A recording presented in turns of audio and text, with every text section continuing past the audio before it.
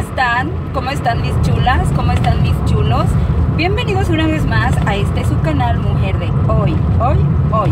Y me da muchísimo gusto que estemos juntos porque este va a ser un videito muy pequeño, espero como siempre. Pues como me puedo, como ustedes saben, hoy es viernes 2 de febrero, ya saben que esto me gusta hacerlo. Aquí está, viernes 2 de febrero. Son las 10 con 17 minutos y para mí este será un día demasiado, demasiado eh, correteado. Porque ustedes saben que en nuestro menú tenemos mole rojo para el día de hoy y pues nada chicas, tengo que venir a cocinar mi mole. Solamente que me salió algo que no estaba planeado en mi día y pues estoy camino a Cuernavaca, regreso a casa, hago la comida, regreso a Cuernavaca por mi hija y pues ya, entonces comeremos. Me da muchísimo gusto que estemos juntos. Eh, este videito va adelantado. Ustedes están viendo la fecha. Y pues nada, de estos aretitos que traigo puestos, ustedes los van a ver en un video de compras que tengo ya hecho, pero que no he subido. Y pues nada, em, me los estoy poniendo después de la fecha de ese video. Eh, también les quiero decir que hoy me puse las sombritas de una paletita que les mostré de la parta Evel en tonos neutros y me encantó, miren cómo se me ve, me encantó muchísimo, muchísimo la pigmentación. Pues nada chicas, las voy a dejar porque voy manejando, aquí se siente todavía hay topes, vengo saliendo del pueblo y pues más tardecita les posteo cómo es que yo hago el mole rojo, la marca que utilizo y cómo quedó nuestro platillo. ¿Les parece? Bueno, les mando un beso y continuamos. Hola chicas, ya estoy aquí de vuelta. ¿Qué creen que me acabo de dar cuenta? Pues sucede que a mí me encanta mucho la manejada. Lo mío es manejar. Entonces sucede que este, particularmente este coche me gusta porque tiene estéreo entonces a mí me gusta manejar, venir cantando, escuchando de repente noticias, ya saben esas cosas. Me acabo de dar cuenta, pues, que, que, creen que el estéreo no le funciona. No le funciona. No sé qué le hizo mi hijo, porque yo le presté mi coche a mi hijo y resulta, pues que no. Oigan, qué voz se escucha, ¿eh? Oigan. Qué horror. Quise poner un CD y tampoco. Tiene el mismo sonido, supongo que son las bocinas, no lo sé. Sin embargo, el otro coche no tiene estéreo porque pues a mi esposo no le gusta escuchar música, dice que le desconcentra. A mí sí me gusta. Entonces como regularmente yo manejo más este que el otro, pues yo procuro que esté bien mi aparato de sonido, pero resulta que no. Entonces ya me cambió el día. que me lo cambie, pero esto no voy a, no voy a permitir que me lo defina, ¿verdad? Como siempre, chicas, aquí un cafre de estos camioncillos ahí, platosos. Bueno, se preguntarán a qué voy tan rápido a Cuernavaca. Lo que pasa es que mi esposo me pidió de favor que vaya yo a entregar unos papeles a Capufe trabajo que dejó aquí en casita y que le están pidiendo. Entonces, como Capufe está realmente en la entrada, no me va a quitar ni 10 minutos porque ya me avisó la persona que me está esperando. Entonces, pues le entrego los papeles y me regreso. Así es que hoy, chicas, voy a cocinar así de glamurosa. Ya no me puedo cambiar ni nada de eso porque terminando me tengo que mover y regresar. Bueno, eso les quería compartir. Mi música. Pues ¿qué creen? Literalmente me estaban esperando, no me tardé nadita, miren son las 11 de la mañana, por ahí se puede ver, ya esta persona me está esperando, no tuve ni que bajarme del coche, entonces ya voy regreso a casa, me estoy literalmente muriendo de hambre, no almorcé, solo desayuné. Y en este momento ya veo doble, ya quiero comer, entonces bueno, les voy a decir algo, voy a llegar y tengo que echar una carga de ropa, tengo que cocinar el pollo, tengo que hacerme mi almuerzo y regresarme a la 1.20 de la tarde. Obviamente ahí sí me voy a ir por la autopista para que sea más corto el trayecto. E ir a recoger a mi hijita. Así es que, ay chicas, pues ya, ya voy de regreso a casa, gracias a Dios, sin novedad por esta carretera que la verdad no me gusta ya transitarla, es la carretera libre. Sobre todo por la inseguridad, pero por los cafres, pero porque es una carretera que, ay, de verdad está súper amolada. Pero bueno, chicas, em, les digo esto para que llegando a casita vamos a considerar el tiempo y pues allá nos vemos. Hola chicas, ¿qué tal? Ya estoy en casita, discúlpenme, pero de verdad se los prometo que me estoy muriendo, muriendo de hambre. Entonces me voy a preparar una malteada para que sea así súper, súper rapidísimo. Ay, es que esto es una lata salir corriendo siempre a casita. De verdad, me voy a lavar las manos porque ya veo visco. Pues, ¿qué creen mis niñas? Que hubo cambio de planes. Una vez que le avisé a mi esposito que... Eh, permítanme. Bueno, les decía, una vez que le avisé a mi esposo que ya había yo ido a, a, este, a entregar los papeles, que no se molestara y todo eso, me preguntó que qué íbamos a comer. Entonces yo le dije que íbamos a comer eh, molito con arroz y todo eso. Y bueno, él me dijo que se le antojaban las enchiladas. Entonces dije, perfecto. Voy a hacer las enchiladas de mole. Como recordarán, en uno de nuestros menús eh, le voy a agregar leche a mi malteada, chicas. Y primero agrego la leche porque esto luego se hace un batidillo. Ahí está. Entonces él me decía, ah, les decía, hubo un cambio en uno, en el menú de enchiladas verdes, eh, avena, porque mi niña me comentó que tenía antojo de comer chicharrón con los nopalitos, no sé si lo recuerden. Entonces le dije, bueno, pues ya. Pero yo ya había hervido la pechuga y ya había hecho la salsa, entonces con esa salsa amaranto, ese es amaranto caramelizado, no sé si por ahí se vea. Ay, huele delicioso. Entonces, bueno, como yo ya había hervido, le voy a poner tres porque ando que me desmayo. Que ya este, que había cocinado, mm, ¿cómo se llama? En la salsa para las enchiladas. A ver, respiro y me tranquilizo, ¿verdad? Entonces yo le dije que, este, que sí estaba bien, un poco de olbrán, ya saben, así es como tengo y así lo protejo. Y pues bueno, voy a aprovechar porque esa, ese, esa pechuga pues la vamos a utilizar para las enchiladas de mole que quiere mi esposo. Pero aún así le voy a poner tres cucharadas de All Brand, chicas. Aún así, chicas, voy a preparar el, el, molito y ya frío lo voy a refrigerar. Quiere decir que en la siguiente semana ya tengo un guisado extra. Lo voy a volver a regresar a su caja así. Y pues bueno, porque sí quiero que vean el proceso. Ya no voy a trazar el, el este... Miren, chicas, todo enredado, pero aquí está. Estas son las malteaditas que yo consumo. Te consumo dos de la marca de Simi. Aquí está otra. Esta es buenísima también. Esta la consumo yo y la otra es más para mis hijos y para mí. En estos casos así de prisa se las mega recomiendo. Eh, no le pongo el sobre completo. Aquí ya está abierto, miren. Solamente le pongo a veces la mitad. Aquí no le voy a poner la mitad porque ya lleva bastante producto, bastantes ingredientes. Entonces por cálculo le voy a poner esa parte. Se volatiza la meto así, la regreso a su cajita y miren, se va, se va, se va, se va. Ajá, les decía, entonces sí, sí voy a hacer ese proceso, claro que sí, del molito y todo lo demás, para que ustedes vean cómo es que yo lo hago. Voy a pausar un segundo porque va a hacer mucho ruido la licuadora, ¿vale? ¿Saben qué sucedió, chicas? Que hoy me hice solamente mi tazota de café, miren, tengo trastes sucios la taza que me regaló mi esposo y mis dos clásicos pan tostado. Ese es de mis desayunos favoritos. Entonces cuando él me avisó, la verdad yo no tenía planeado salir, dije, bueno, pues me, me bañé, me cambié porque sabía que iba a estar muy, muy carrereado el día y ya no almorcé.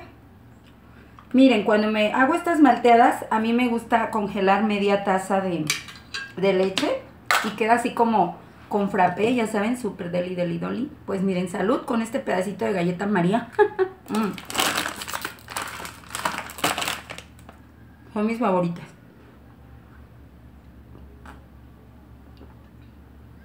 Mm. He vuelto a la vida, se los prometo.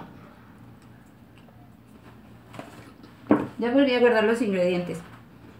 Perdón.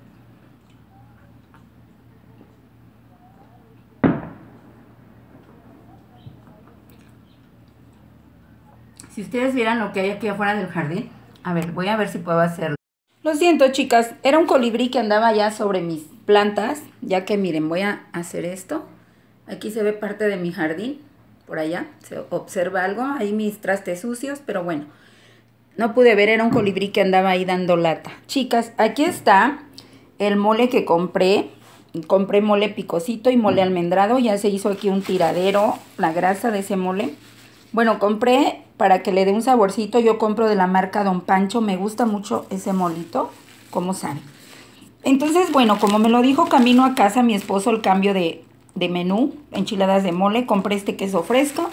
Una vez más compré, pero bien poquito requesón. Solamente compré un cuarto porque ya no había más. Estos alimentos de verdad me encantan. No tienen grasa, no tienen sal, no tienen nada. Es delicioso. Compré 10 pesos de este chile que voy a hacer en rajitas y miren, encontré estos pepinitos así chiquitos, tiernos. Dije, me voy a llevar, era todo lo que tenía que, que comprar en el mercadito. Entonces, bueno, este, pues esta es la marca que compro y les voy a mostrar. Aquí ya tengo el caso o la cacerola donde voy a freír mi pollo. Yo lo que hago es freír el pollo y después agregar el, el molito. Tiene que estar súper caliente, chicas. Esta es la pechuga que yo les había dicho que había hervido para las enchiladas verdes, pero que mi hija finalmente ya no quiso y no sé qué, y pues nada, aquí está, la voy a ocupar para hoy afortunadamente. Tengo este consomé de pollo. Con este consomé de pollo lo que voy a hacer es licuar el molito. Ok, mis chicas bonitas, ahí anda una gotita de agua. Miren, ya esto quiere decir que está caliente. Ya tengo aquí previamente lavado el pollo voy a ir colocando las piezas así. Así. Como les decía, no puedo de, dejar de, de hacer el guisado porque pues ya está el pollo aquí. Por lo tanto, pues lo tengo que hacer y qué mejor así ya adelantamos un día. Ahí están mis niñas, miren, lo voy a dejar que se dore. Ya que esté doradito, aquí le voy a bajar un poquito la lumbre. Ay, ya no, a ver, permítanme. Ando con una mano, chicas. Le voy a bajar la lumbre y vamos a dejar que se dore. Bueno, ya camino a casa tuve que comprar esta otra pechuga porque la voy a poner a cocer aparte de la que ya tenemos. Esta que yo ya les había mostrado que ya estaba hervida para las otras enchiladas, pues tuve que comprar esta otra. Ahorita la voy a poner a cocer porque en este día comeremos cinco personas. Como ustedes saben, regularmente solo comemos mi hija y yo. Pues nada, les quiero mostrar cómo ya se deshidrató mi epazotito criollo, criollo. No sé si recuerden que lo compré fresco, está en su servilleta, ya lo vamos a guardar, chicas. Bueno, chicas, como les decía, en lo que aquí se tuesta nuestro pollo, yo voy a agregar un poquito del caldo de la anterior pechuga y el molito que compré en pasta lo voy a poner aquí en la licuadora para que empiece a derretirse. Vamos a poner esto. En esa, aquí va, miren. Ay, creo que ahí se observa. Vamos a agregar más mole. Y vamos a agregar este que ya se hizo un verdadero batidillo. Está, saben que, hay que estas bolsas son como insuficientes. Entonces lo que tenemos que hacer es licuar esta pasta, chicas, con este caldito de pollo. Y una vez que ese pollo, que ya esté doradito, ya que esté bien doradito, doradito, eh, mmm, está delicioso. Le vamos a agregar el mole muy, muy aguado. El mole muy, muy aguado porque este pollo tiene que cocerse justamente con la pasta y el mole ya hecho y así brota toda la grasa del mole que a veces eso es lo que nos hace mal, que no esté bien, ¿cómo se puede decir? Pues si bien diluido, bien dorado, no sé. Miren, así va nuestro pollo. Lo quiero doradito y como lo quiero doradito lo voy a dejar un poquito más. Y pues vamos a continuar. Pues bueno, miren chicas, ya está aquí licuado con el consomé de pollo que tenía reciclado. Entonces no lo licué todo. Ay no, por no ponerme el mandil ya se me manchó la blusa. Bueno. Este otro poquito lo voy a licuar después porque aquí ya se va a pelmazar y ya no se va a poder licuar igual. Aquí tengo más caldito y pues así es como lo vamos a licuar. Ahora, no voy a hacer arroz, chicas, porque como recordarán, en la semana, en el anterior video hice una taza. Para mí una taza de arroz es demasiado, créanme, así demasiado. Entonces yo lo que hago es, yo compro estos toppers, miren, aquí los tengo. Yo compro toppers así con sus respectivas tapas y lo que hago es que los subo al congelador. Tengo arroz rojo y tengo arroz blanco. Entonces pues no voy a cocinar, se está descongelando de hecho. No voy a hacer arroz porque tenemos un litro de arroz que para cinco personas está perfecto, más las enchiladitas. De hecho había comprado ajonjolí también para tostar. Y pues em, voy a continuar y seguimos con el video. Les quiero mostrar cómo vaya nuestro pollo. Miren, qué doradito va quedando. Yo lo volteo así. No pasa nada, de verdad. No se queman si lo hacen con cuidado. Ahí está, ya tenemos otra piernita. Aquí otra piernita.